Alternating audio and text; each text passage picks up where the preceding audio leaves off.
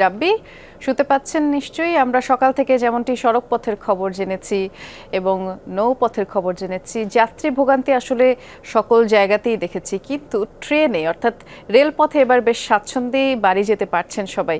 কি অবস্থা দেখছেন একটু জানাবেন, যাত্রীদের সাথে কথা হচ্ছে নিশ্চয়ই? সিলন ফ্যামিলি ব্লেন্ডের কড়ালিকার আর সতেজ সাদের পারফেক্ট ব্লেন্ডে স্বপ্নেরা মেলুক টানা। স্বস্তি এই এখন পর্যন্ত আছে, তবে এটি আসলে বেলা গড়ালে মানে সন্ধ্যা হলে কি পরিস্থিতি তৈরি হয় সেটি কিন্তু ভাবার বিষয়। কারণ আপনি এর মধ্যেই জানেন যে আজকে অধিকাংশ শিল্প কারখানা গার্মেন্টস কারখানার ছুটিটি কিন্তু আজ বিকেল থেকে শুরু হবে। সেক্ষেত্রে আসলে ওই সময় একটা বিশাল চাপ তৈরি হবে এবং অধিকাংশ মানুষ সড়কপথ এবং রেলপথ এই দুই পথেই বাড়ি ফিরেন তেমনটাই আমরা জানি এবং সেই চাপটি তৈরি হবে এবং সেজন্য আসলে কতটা প্রস্তুত আছে। যদিও আমরা বিমানবন্দর স্টেশনে আছি এবং এখানে কিন্তু দেখছি যে ট্রেন আসলে ছাদে যেন যাত্রীরা না ওঠে কেউ যেন না ওঠে সেই চেষ্টাটি কিন্তু সেই চেষ্টাটি করছে বিমান বিমান কমলাপুর বিমানবন্দর দুই স্টেশনেরই যারা নিরাপত্তার দায়িত্বে আছেন তারা, যাতে করে কোনোভাবেই ছাদে যেন যাত্রীরা না উঠতে পারে, ঝুঁকি নিয়ে যেন উঠতে না পারে বা ইঞ্জিনের সামনে যেন কেউ বসতে না পারে মানে এই চেষ্টাটা আছে। তবে সেটি আসলে কতক্ষণ পর্যন্ত থাকবে? যেমন এই এই ট্রেনটি কিশোরগঞ্জ কিশোরগঞ্জ যাবে এবং এটি এটি আসলে সময় ছিল দশটা পঁয়তাল্লিশে ট্রেনটি দশ মিনিট এই ট্রেনটি এখন এগারোটা দশ। এই একটু দেরিতেই ট্রেনটি এসেছে কিশোরগঞ্জ এক্সপ্রেস দশটা পঁয়তাল্লিশ হ্যাঁ। এবং এই ট্রেনের যেই যাত্রীগুলো দেখছেন এর তারা সবাই এই ট্রেনটিতেই কিন্তু চেপে চেপে উঠবেন।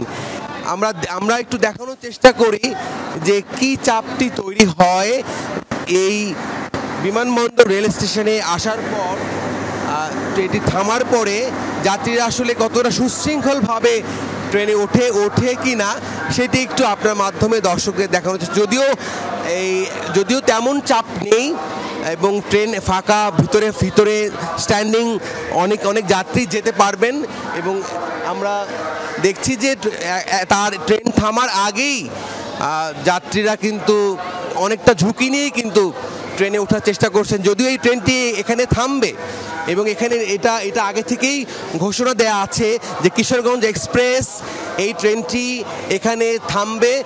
এখান থেকে যাত্রী নেবে এবং আপনি আপনারা দেখতেই পাচ্ছেন, দেখ, নারী, পুরুষ সবাই এবং শিশুদেরকেও কতটা ঝুঁকি নিয়ে এই ট্রেনে থামার আগেই ট্রেনে উঠতে হবে, জায়গা নিতে হবে, সেই যে একটা প্রতিযোগিতা সেটি কিন্তু আমরা দেখতে পাচ্ছি। ট্রেনটি কিন্তু থেমে গেছে।